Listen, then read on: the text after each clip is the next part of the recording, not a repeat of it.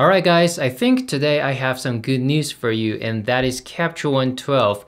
Capture One 12 is released today with some new features of course. So this video is going to be a what's new in Capture One 12 video. First of all, as a Fuji user myself and I know a lot of you follow my YouTube channel are Fuji users, the most important uh, the most important feature in Capture One 12 is definitely the film simulations. The film simulations are added in Capture One 12.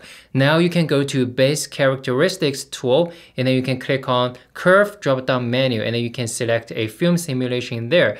I actually compared the film simulations in Capture One to the actual film simulations produced by my Fuji X-T2 and I found that they work pretty good and I actually did a separate video talking about comparing the film simulations. So that video will be available later. Now you can download the software and you can uh, you can try the film simulations for yourself. Now let's talk about what else is new in Capture One 12. First of all, it has a new user interface and it has a new menu system.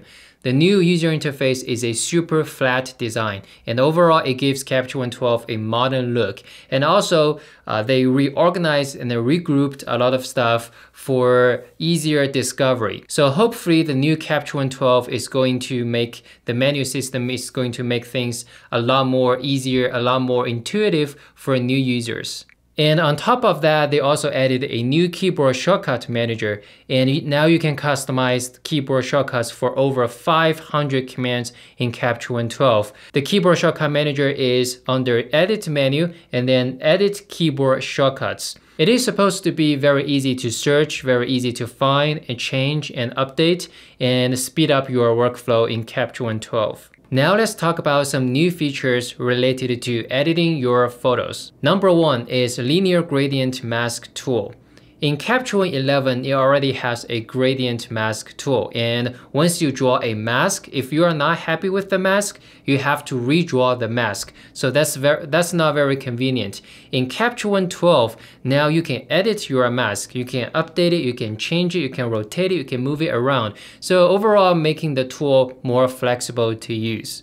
Number two is Radial Gradient Mask Tool. It's a new feature in Capture One 12, which doesn't exist in any Capture One version before. It allows you to draw a circle and you can choose whatever inside the circle or whatever outside the circle to be selected. And you can move the circle around, you can update the size, you can rotate the circle, you can update, you can change the feather. It works very similar to the radial gradient tool in Lightroom. Number three is Luma range masking and it is used for targeting a specific range of luminosity values. Now you can use this tool to target your shadow, your midtone, or your highlight. It does work with the linear gradient tool, the radial gradient tool, and any regular masks. The next new feature is that Capture One 12 introduced a new plugin platforms, which means developers can now jump in and create third-party plugins for Capture One 12. Also, there are some new cameras supported in Capture One 12, Nikon Z7 and Z6, or Z7, Z6, depending on where you live. I don't know, it seems Nikon always has some ambiguous pronunciation, like Nikon versus Nikon, Nikon, Z7 versus Z7. Anyway, and the Canon EOS R, Canon EOS M50 are also supported in Capture One 12 now.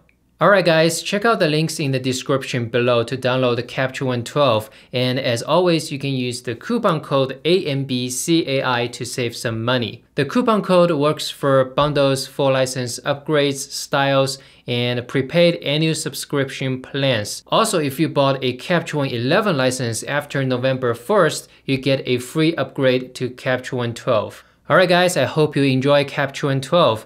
And if you like this video, please click on the thumbs up button below. And if you're the first time on my YouTube channel, please consider subscribing. Alright guys, that's it from me today. The other separate video comparing film simulations will be available very soon. So yeah, I guess I will see you soon.